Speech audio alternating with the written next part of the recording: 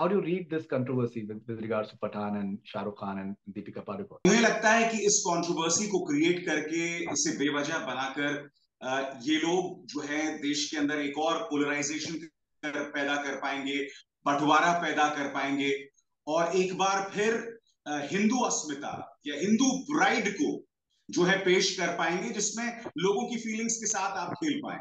आप याद कीजिए कल क्या हुआ? कल एंट्री बॉक्स में शाहरुख वेन रूनी के साथ थे।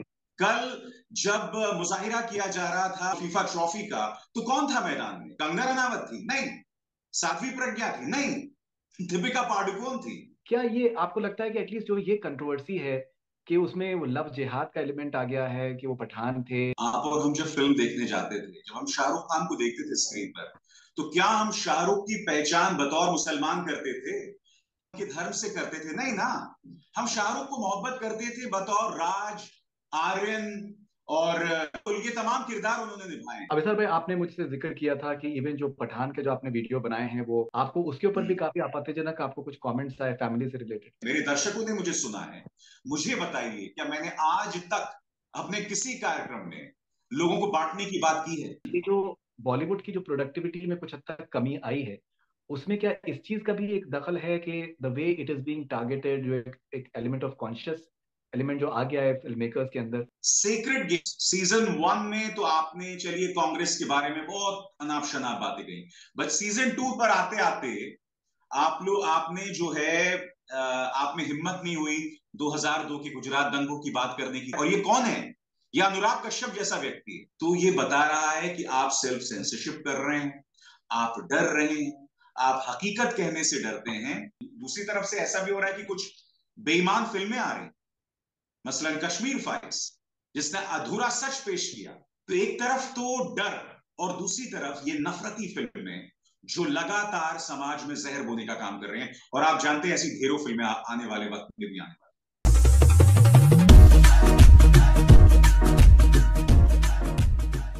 अभिसार भाई welcome on connect FM Canada कैसे हैं आप? बढ़िया फरीदुल आप कैसे हैं?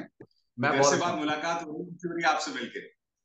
Thank you so much Abhisar भाई same here always always huge honour and pleasure to talk to you अभी सर भाई मैं आपसे बेसिकली मैं बात करना चाह रहा था कि आपके कुछ वीडियोस आपने अभी बनाए हैं पठान की कंट्रोवर्सी से रिलेटेड जो कि बहुत ज़्यादा मकबूल हो रहे हैं। आपका क्या अंडरस्टैंडिंग है with with the sort of feedback that you been getting with the sort of comments that are coming How do you how do you read this controversy with, with regards to Pathan and Shah Rukh Khan and Deepika Padukone? देखिए ये controversy है जो बेवजह बना और ये वो सोच है जिन्हें लगता है कि भाई शाहरुख खान के खिलाफ नफरत पैदा करके मुसलमान तक सीमित रखना चाहते हैं तो उन्हें लगता है कि इस कंट्रोवर्सी को क्रिएट करके इसे बेवजह बनाकर ये लोग जो है देश के अंदर एक और पोलराइजेशन पैदा कर पाएँगे बंटवारा पैदा कर पाएँगे। और एक बार फिर हिंदू अस्मिता या हिंदू प्राइड को जो है पेश कर पाएँगे, जिसमें लोगों की फीलिंग्स के साथ आप खेल पाए। क्योंकि ये ना भूलें कि देखिए, एक अरसे से शाहरुख खान पर निशाना साधा जा रहा है। उनके बेटे को एक झूठे केस में आपने फंसा दिया। और उसके बाद अब पठान को बॉयकॉट करने की एक लंबे अरसे से चला रहे थे अब उन्होंने छोटे से फ्रेम को, जहाँ दीपिका पाडुकोन ने ऑरेंज पहना हुआ है उसको लेकर, जो कि उनके गाने बेशर्म रंग में है, उसको लेकर वो बवाल बना रहे हैं। मगर बड़ा प्रश्न है कि ये लोग कौन उठा रहे हैं? मसलन भोपाल की जो सांसद हैं, प्रज्ञा, वो इस मुद्दे को उठा रही हैं। जो खुद आतंकवादी हमलों में आरोपी हैं। सबसे बड़ा दुर्भाग्य ये है कि वो सांसद हैं। वो देश की संसद के अंदर मौजूद है। ये मुद्दा कौन उठा रहे हैं? ये मुद्दे वो लोग उठा रहे हैं जो कि अपने बयानों में सिवाय जहर उगलने की कुछ नहीं करते हैं। और दूसरी तरफ़ एक शाहरुख खान है। मतलब मैंने, देखिए, मैं फरीदुन आप भी जानते हो कि I am an Amitabh Bachchan fan मगर जब मैं शाहरुख को देखता हूँ ना, उनकी फ़िल्में मुझे बहुत लिमिटेड पसंद आई हैं मगर बतौर इंसान, जो वो एक एक शब्द बोलते हैं। मैं उसका कायल। मैंने आज तक शाहरुख को उनके जितना भी लंबा फिल्मी करियर रहा है, मैं तो उनको इनफैक्ट तब से देख रहा हूँ जब से वो फौजी सीरियल में आते थे। मैंने आज तक उनके मुँह से एक भी कड़वी बात नहीं सुनी, कड़वाहट नहीं सुनी, कुछ नहीं सुना जिससे किसी की भावनाएँ आहत होनी चाहिए। आप एक ऐसे व्यक्ति को टारगेट कर रहे हो जो इस देश के लिए, पूरे अंतर्राष्ट्रीय समुदाय में हमारी आन बान शान का प्रतीक है। आप याद कीजिए कल क्या हुआ? कल एंट्री बॉक्स में शाहरुख वेन रूनी के साथ थे। कल जब मुजाहिरा किया जा रहा था world cup football, FIFA trophy का तो कौन था मैदान में? कंगना रनावत थी? नहीं। साध्वी प्रज्ञा थी? नहीं। दीपिका पाडुकोन थी? आप ऐसे लोगों को टारगेट कर रहे हैं। तो मुझे लग रहा है ये नहायत ही शर्मनाक है छोटी सोच है, जिसके तहत इन्हें टारगेट किया जा रहा है। वो लोग जिन्होंने अंतरराष्ट्रीय तौर पर देश की आन बान शान बढ़ाई है, देखिए, शाहरुख खान की फ़िल्मों से आपको शिकायत हो सकती है कि भाई शाहरुख खान कुछ ऐसी फ़िल्में करते हैं। पिछले कुछ अरसे से उनकी फ़िल्में कोई बहुत अच्छा कर नहीं रही थी क्रिएटिवली एक अरसे से नहीं कर रही थी। वो एक अलग मुद्दा है। वो शिकायत दिलीप कुमार से भी रही थी। उस वक्त जब वो ढलान पे थे, वो शिकायत अमिताभ बच्चन से भी रही थी और वही शिकायत शाहरुख खान से भी रही कि भाई, वो इतनी अच्छी फ़िल्में नहीं कर रहे। मगर आप इंसान को जीने का अधिकार ना दें। आप उसे, उस पर, आप उससे इतफाक ना रखें, बात सही है। आप उसकी फैमिली पर निशाना साधे। आपने तमाम लक्ष्मण रेखाओं को पार कर दिया भाई। ये एक जनरल परसेप्शन ये है कि पठान जब बंदी रही थी तभी से ये एक सारी चीज़ें शुरू हो गई थी कि कुछ आ, आज के टाइम पे तो मेरे ख्याल से सभी फ़िल्मों को बॉयकॉट किया जाता है और एक एटलीस्ट मतलब कम से कम एक रुझान बनाने की कोशिश की जाती है सोशल मीडिया पे। आ, क्या ये आपको लगता है कि एटलीस्ट जो ये कंट्रोवर्सी है कि उसमें वो लव जिहाद का एलिमेंट आ गया है कि वो पठान थे और दीपिका को मैं सुन रहा था, मैं इनफैक्ट मैं भी एक डिबेट पे था तो उसमें कि उसमें उनको हिजाब पहनना चाहिए था या फिर उनको बुरखा पहनना चाहिए था। तो ये कुछ आपको लगता है कि ये जो पूरा इवन जो प्रेमाइस है इस पूरी कंट्रोवर्सी का, वो भी बहुत ही बेतुका है एकदम? मतलब there is no absolutely no logic it seems so in the entire argument आप जानते फरीदून अभी अभी जो आपने मुझे लव जिहाद वाली बात बताई, मैंने सुनी भी नहीं, क्योंकि सच बताऊँ तो मैं इस सबको सुनना भी नहीं चाहता हूँ। देखिए, मैं उन लोगों से कहना चाहता हूँ जो इस नफरत से सराबोर हैं, जो इस नफरत में दफन है। आप और हम जब फ़िल्म देखने जाते थे, जब हम शाहरुख खान को देखते थे स्क्रीन पर तो क्या हम शाहरुख की पहचान बतौर मुसलमान करते थे? कि धर्म से करते थे? नहीं ना। हम शाहरुख को मोहब्बत करते थे बतौर राज, आर्यन और ये तमाम किरदार उन्होंने निभाए हैं। तो कहने का अर्थ ये है कि हम हम इस रास्ते में कब चल पड़े? ये लव जिहाद इसमें कहाँ से आ गया? और सवाल जैसे मैंने अभी कुछ देर पहले कहा आपने शाहरुख के कभी भी ऐसी कोई आपत्तिजनक बात रिलीजियस तौर पर सेंसिटिव बात भी नहीं कही। आप तो ज़्यादा जानते हैं उनको वो दिवाली को भी इतनी खुलकर मनाते हैं। और मना मनाना एक एक वजह भी है क्योंकि उनकी पत्नी एक हिंदू है। आ, तो कहने का अर्थ यह है कि आप बेवजह एक कंट्रोवर्सी को क्रिएट कर रहे हैं आप उसमें लव जिहाद लेकर आ रहे हैं। अब मैंने अभी देखा एक मौलाना साहब भी विरोध कर रहे थे उसका कि भाई पठान को जिस तरह से नाशे गाते दिखाया है आ, कम कपड़े पहनी हुई लड़कियों के बीच में पठान ऐसे नहीं होते। अरे भाई क्या सोचे तुम्हारी? पठान ऐसे नहीं होते। पहली बात वो एक फ़िल्म है। एक फ़िल्म में अगर कुछ आपत्तिजनक है तो सेंसर बोर्ड फैसला करेगी। मध्य प्रदेश के गृह मंत्री फैसला नहीं करेंगे। कहीं के मौलाना जी फैसला नहीं करेंगे। साध्वी प्रज्ञा फैसला नहीं करेंगी, जो आतंकवाद के जिन पे आरोप हैं या चिंटू ये फैसला नहीं करेगा, जो समाज में सिवाय जहर पैदा करने के काम नहीं करते। आप और हम सवाल उठा सकते हैं फ़िल्म की क्वालिटी पर। और फरीदुल आप और मैं भी कई लेकर बात करते रहे कि भाई किस तरह से साउथ की फ़िल्में जो हैं, वो क्रिएटिवली कहीं ज़्यादा इवॉल्व दिखाई दे रही है बॉलीवुड के साथ। वो एक अलग बहस है। मगर कपड़ों को लेकर के साथ जोड़ना सेवेंटीज से, मोनिका उमाय डार्लिंग से लेकर, महबूबा महबूबा से लेकर आप जैसा कोई मेरी ज़िंदगी में आए, सत्यम शिवम सुंदरम, आपके सामने ढेरों मिसालें हैं, जहाँ नायिकाओं ने किरदार के हिसाब से कपड़े पहने हैं, अब आप उसे बेवजह पैदा कर रहे हैं और उसे धर्म के साथ जोड़ रहे हैं। That is the biggest tragedy you know what really hurts me this जब मैं मेरा आजकल एक पसंदीदा पास टाइम है फरीदून मैं फिफ्टीज सिक्सटीज सेवेंटीज की ब्लैक एंड व्हाइट फ़िल्म या पुरानी फ़िल्म देखता हूँ आजकल। अफसोस हो रहा है कि उन फ़िल्मों में जिस तरह के संवाद थे, उन फ़िल्मों में जिस तरह से रूढ़ीवादी को चुनौतियाँ दी गई थी, रूढ़ीवादिता को, अब वो आप फ़िल्में नहीं बना सकते। तारीख में आप जाने भी दो यारों फ़िल्म ही नहीं बना सकते हो। में साहिर लुधियानवी साहब ने जो दुनिया। अरे भाई साहिर लुधियानवी साहब पर आज आप आप उन्हें अर्बन नक्सल कह देते और उन पर आप यूएपीए लगा देते, आतंकवाद की धाराएँ लगा देते। हम उस युग में हैं।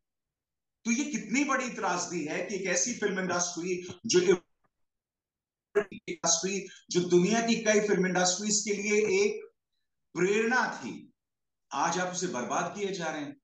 एक एक निहायत ही छोटी, संकीर्ण सोच के चलते। भाई आ, मैं एक चीज़ मैं आपसे पूछना चाह रहा था बिकॉज़ मुझे लगता है कि मैंने जितने आपको करीबी से जाना है मतलब you you are I think huge patriot and मतलब आप इंडिया से बहुत मोहब्बत करते हैं। uh, क्या आपको एक आप क्या सोचते हैं इस तरीके से कि अभी जैसे गोल्डन ग्लोब्स में राजा मौली साहब नॉमिनेट हुए हैं ट्रिपल आर नॉमिनेट हुई है चांसेस हैं कि ऑस्कर्स में ट्रिपल आर का शायद वी का बेस्ट उसमें वी एफ़ में कैटेगरी में शायद वो नॉमिनेट हो जाए और नाटू नाटू के शायद परफॉर्मेंस के भी चांसेस हैं ऑस्कर स्टेज के ऊपर। आपको लगता है कि अगर जब ये पब्लिसिटी करेंगे वहाँ पर जब ये इंटरव्यूज़ इनके होंगे फॉरेन प्रेस के साथ में कंसिडरिंग दीपिका पाडुकोन हॉलीवुड की फ़िल्म कर चुकी है, एक बड़ा नाम है। शाहरुख खान एक बहुत बड़ा नाम है। अगर उनसे कुछ सवाल किसी ने पूछा इससे मुतालिक, आपको लगता है कि it will be a huge embarrassment for Faridun भाई उन्हें भूल जाइए। पहली बात, राजा मौली साहब या ट्रिपल आर में काम करने वाला कोई भी एक्टर जवाबदेह नहीं है। मध्य प्रदेश के गृह मंत्री क्या कहते हैं उससे लेकर, या भोपाल की सांसद क्या कहती है उससे लेकर? मगर देश के प्रधानमंत्री तो हैं, देश के विदेश मंत्री तो हैं, क्योंकि आप उसी पॉलिटिकल पार्टी से जो है आपका नाता है। यकीनन ये हमारे लिए एम्बेसिंग बात है। मैंने कहा ना कि भाई ये वो एक्टर्स हैं जिन्होंने आपका नाम ऊँचा किया है। और सवाल सिर्फ़ शाहरुख खान का नहीं है अरसे से आपने देखिए, चाहे चाहे राज कपूर साहब रहे हो, मिथुन चक्रवर्ती हो, इनका जो किरदार था, इनका जो मुकाम था इंटरनेशनल जो ऑडियंसेस में था, वही परंपरा चली आ रही है, उसी परंपरा को आगे शाहरुख खान जैसे अभिनेता, दीपिका पाडुकोन जैसे अभिनेता आगे बढ़ाते हैं।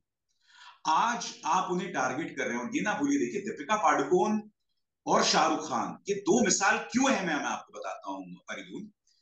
दीपिका पाडुकोन की फ़िल्म आपको याद होगा पद्मा। वो फ़िल्म आई। उस फ़िल्म को लेकर बेवजह कंट्रोवर्सी पैदा की गई। और ये लोग जो औरत को देवी का दर्जा देने की बात करते हैं उन्होंने क्या कहा?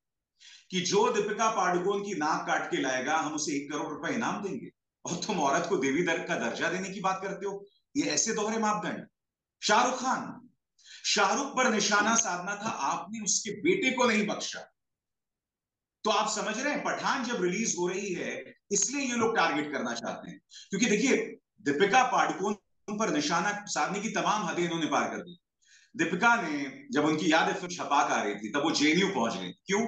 क्योंकि वहाँ कुछ छात्राओं पर निशाना साधा गया था, हिंसा की गई थी। सिर्फ़ दीपिका उनके साथ नतीजा ये हुआ कि वो दिन है और आज का दिन है। उन पर हर चीज़ को लेकर निशाना साधा जाता है। अब बताइए मुझे, फरीदून, अगर आप मुझे पसंद नहीं करते हैं तो आप भी अपने लिए कुछ लक्ष्मण रेखाएँ तय करेंगे। ना आप ये तो नहीं करेंगे कि आप मेरी बीमारी पर या अगर मेरे परिवार में कोई त्रासदी होगी, उसका आप मज़ाक उड़ाएँगे। मोहतरमा कंगना रनावत ने दीपिका पाडुकोन को डिप्रेशन की दुकान कहा ये शर्मनाक है फरीदून कि आप किसी को टारगेट करें करें। मैं मैं कह रहा हूँ चलिए आप वैचारिक तौर पर किसी से लड़ाई लड़ना चाहते हैं लड़े। आप डिप्रेशन को लेकर किसी का मज़ाक उड़ा रहे हैं। आप किसी के बच्चे पर निशाना साध रहे हैं। मैं इसे इसलिए समझ सकता हूँ the reason why I empathise with this is Faridun, you know how my family has been targeted in various cases. My wife, just because वो मेरी पत्नी है उन पर निशाना साधा गया। आप सब जानते हैं अब उसकी मैं चर्चा करना नहीं चाहता हूँ क्योंकि आज हम पठान तक सीमित रखना चाहेंगे। तो मैं, जब मैं शाहरुख को देख रहा था अपने बेटे से मिलने जब वो जेल जा रहे थे तो कहीं ना कहीं मैं, मेरा गला भरा आया क्योंकि मैं उससे आइडेंटिफाई कर सकता था। मैं ये सोच सकता था कि जब एक निज़ाम, जब एक ताकत आप पर निशाना साधे तो आप, वो तमाम हदों को पार कर जाती। आपके बच्चों को भी नहीं बख्शती। मैं बार बार अपने बेटे को उस उस माहौल में महसूस कर रहा था, क्योंकि मैं उससे गुजर चुका हूँ। मेरी, जैसे मैंने कहा कि मेरी फैमिली पर निशाना साधा गया। तो वाकई बहुत बहुत शर्म की बात है। मैं मैं उम्मीद करता हूँ कि वो गाना है ना कि ईश्वर अल्लाह तेरो नाम सबको सम्मति दे भगवान। इन्हें ईश्वर बुद्धि दे सदबुद्धि दे मैं बस यही कह सकता अभी सर भाई आपने मुझसे ज़िक्र किया था कि इवन जो पठान के जो आपने वीडियो बनाए हैं वो आई थिंक करीबन एक वीडियो उसमें से करीबन सवा करोड़ व्यूज़ उसके हुए हैं। आपको उसके ऊपर भी काफ़ी आपत्तिजनक आपको कुछ कमेंट्स आए फैमिली से रिलेटेड वो तो देखिए आता ही है। अब उसमें भी क्या हुआ? कई जगह आप देखेंगे लोग बहुत गंदी गंदी बात करेंगे कि भाई तेरी माँ तेरी पत्नी के साथ तो वो मैं बोल भी नहीं सकता वो इतने गंदे होते हैं वो कमेंट्स इतने गंदे होते हैं। आप जानते हैं कुछ दिनों पहले भी ऐसी मैंने किया था। तो जो मेरा फेसबुक पेज है आ, मेरा इनबॉक्स खुला हो यानी कोई भी मेरा दर्शक जो है वो मुझे इनबॉक्स कर सकता है। उस इनबॉक्स के अंदर मेरी मेरी परिवार की तमाम महिलाओं को रेप थ्रेट्स दिए। अब इससे पहले एक बार हो चुका था और मैंने चार या पाँच लोगों को गिरफ़्तार भी कराया था। उनमें से दो अभी भी अदालत के चक्कर काट रहे हैं। उन्होंने भी लगभग वही बात कही। बट आप मुझे बताइए मुझे याद है वो सब करने में मेरा इतना वक्त बर्बाद हुआ था। इतनी ऊर्जा बर्बाद हुई थी, इतना मेंटल जो है बैलेंस उससे आपका बिगड़ता है, क्योंकि आप पुलिस के पास जाते हैं, आप शिकायत करते हैं, आप उसे फॉलो अप करते रहते हैं, ये सब टाइम नहीं है मेरे पास करीब मगर सिर्फ़ इसलिए कि मैं अपनी बात कह रहा हूँ, जो सच्ची बात है, क्योंकि देखिए, अगर कुछ फैक्चुअल नहीं होता तो आप जानते हैं, आप पर एफआईआर दर्ज हो जाता है, कुछ लोगों को जेल में डाल दिया जाता है तो मैं तो फैक्चुअल बात करता हूँ। ना, मैं कौन सी अलग बात कर रहा हूँ? आपने मुझे, मेरे दर्शकों ने मुझे सुना है। मुझे बताइए, क्या मैंने आज तक अपने किसी कार्यक्रम में लोगों को बांटने की बात की है, लोगों की तोहिन की है? नहीं। सत्ता से सवाल पूछ आस्क ताकतवर है, मुझसे सवाल करता हूँ। इसमें आपको क्या आपत्ति है भाई? क्या ताकतवर को जवाबदेह ना बनाया जाए? क्या मजलूम को लगा कुछ लगा जाए? देखिए, पत्रकारिता क्या है? पत्रकारिता यह है कि जो ताकतवर है, आप उसे जवाब दे ये जो न्यूट्रलिटी लोग कहते हैं ना, भाई journalism is about neutrality no they can not be any powerful and one who targeted यानी कि अगर कोई मजलूम है और ताकतवर है, उनमें न्यूट्रलिटी या निष्पक्षता किस बात की, भाई? तो कहने का अर्थ यह है कि देखिए हम एक ऐसे समाज में रह रहे हैं जहाँ मैं अगर सिर्फ़ सवाल करूँ, तथ्य रखूँ आपको वो पसंद नहीं आएगा तो आप सीधे मेरे परिवार तक पहुँच जाते हैं, आप गंदी गंदी बातें पप्तियाँ कसते हैं, मगर आप दरअसल कहीं ना कहीं अपने आप को अंदर से खत्म कर रहे हैं। क्योंकि जब आप इस तरह की भावनाएँ मन में लाते हैं ना, क्योंकि देखिए, आप तो चलिए, मुझे ऑनलाइन ये सारी बातें कर रहे हैं। मैं उसे डिलीट कर दूँगा, मैं उसे हटा दूँगा, मैं अपने इनबॉक्स को बंद कर दूँगा। आप वो भावनाओं के साथ, जो लोग मुझे कहते हैं, वो अपने भावनाओं के साथ आप उसी भावना में आप सिमर कर रहे हैं। यू, आप उसी में जो है जी रहे हैं। सबसे बड़ा नुकसान आप अपने आसपास रहने वाली परिवार की महिलाओं के साथ कर रहे हैं।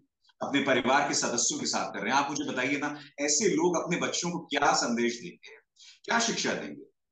अपने माँ बाप की क्या इज़्ज़त करेंगे?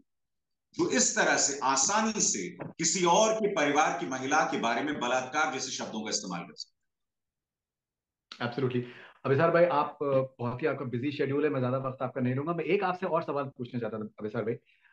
You know you are a novelist yourself आप आप, आपने कहानियाँ आपने लिखी हैं you are a story teller even जो आपका जो जर्नलिज्म है, आप एक उसको एक फैक्चुअल स्टोरी टेलिंग के तरीके से आप प्रेजेंट करते हैं।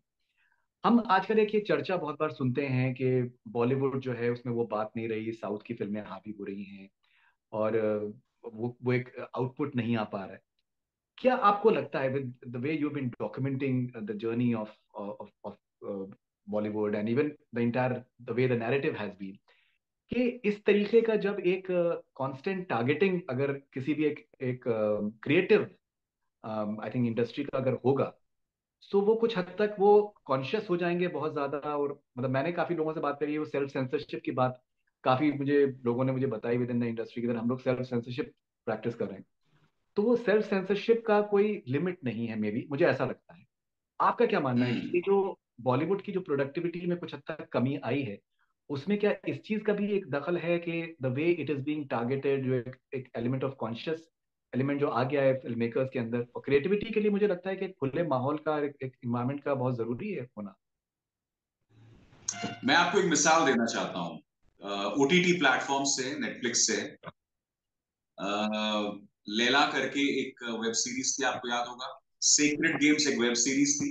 फिर पाताल कोट एमेजोन में एक वेब सीरीज़ थी। तांडव करके एक वेब सीरीज़ थी। पाताल कोट और तांडव दोनों का सीज़न टू क्योंकि कुछ वो सेंसिटिव इश्यूज़ को डील कर रही थी। लेला की बात कर रही थी, उसका सीज़न टू नहीं आ रहा है। सीक्रेट गेम सीज़न वन में तो आपने, चलिए, कांग्रेस के बारे में बहुत अनाप शनाप बातें कही। बट सीज़न टू पर आते आते आप लोग आपने जो है आप में हिम्मत नहीं हुई 2002 के गुजरात दंगों की बात करने की। देखिए, क्योंकि आपको याद होगा सीक्रेट गेम्स में पार्ट वन में एक डायलॉग था ना कि राजीव गांधी तो टुच्चा था या कुछ कुछ बहुत ही अजीबोगरीब शब्द यूज़ किया गया था बोफोर्स को लेकर। मगर जब आप सीज़न टू जब सीक्रेट गेम्स जैसे तो आप में हिम्मत होनी चाहिए थी, गुजरात पर भी बात करने की, आप नहीं कर पाए। और ये कौन है? ये अनुराग कश्यप जैसा व्यक्ति है। उसी तरह से आपने अभी हाल में लाल सिंह चड्ढा देखी होगी। लाल सिंह चड्ढा में 1984 सिख एंटी सिख राइट्स के पर आपने अच्छी बात की, उसमें कमेंट्री की। मगर जब आप लाल सिंह चड्ढा की जर्नी को बता रहे हैं कंटेम्प्रेरी इंडिया में तो आप प्रधानमंत्री नरेंद्र मोदी का ज़िक्र तो करते हैं, जब वो अपनी जर्नी पूरा करता है, जब वो बनारस से गुजरता है। मगर आप 2002 का ज़िक्र नहीं करते तो ये बता रहा है कि आप सेल्फ सेंसरशिप कर रहे हैं, आप डर रहे हैं, आप हकीकत कहने से डरते हैं, क्योंकि ज़ाहिर सी बात है एक बैकलैश है। और जब इस तरह का डर होगा तो ज़ाहिर सी बात है, वो आपके क्रिएटिव परसूट्स आपकी क्रिएटिव स्किल्स पर इंपैक्ट करेगा, उसका असर होगा। इसमें दो राय नहीं है बिल्कुल।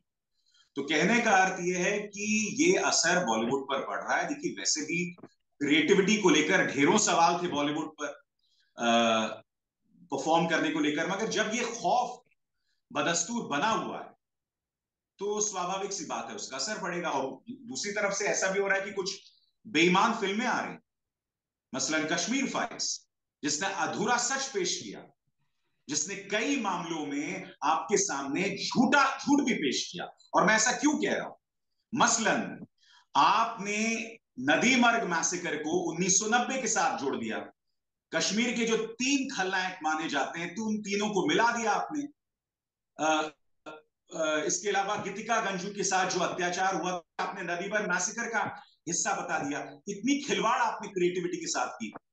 मगर चूँकि इस इस फ़िल्म को सरकार ने प्रमोट किया बीजेपी ने प्रमोट किया आ, इसके अलावा it was playing up on our dark fantasies कि भाई आप मुसलमान को विलन बताइए और आ, वो बात कीजिए।